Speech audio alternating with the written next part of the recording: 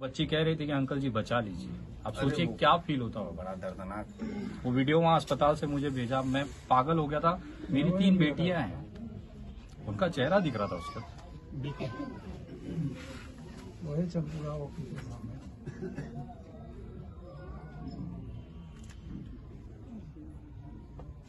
वही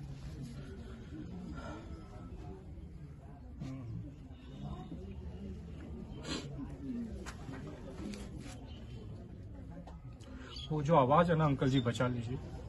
सोने नहीं देती।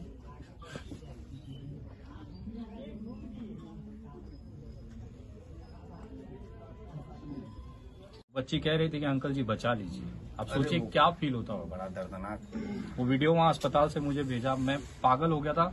मेरी तीन बेटियाँ हैं। उनका चेहरा दिख रहा था उस पर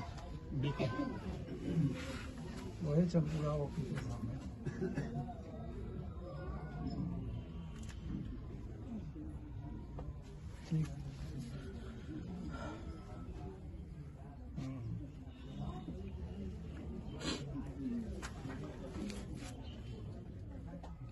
वो जो आवाज़ है ना अंकल जी बचा लीजिए।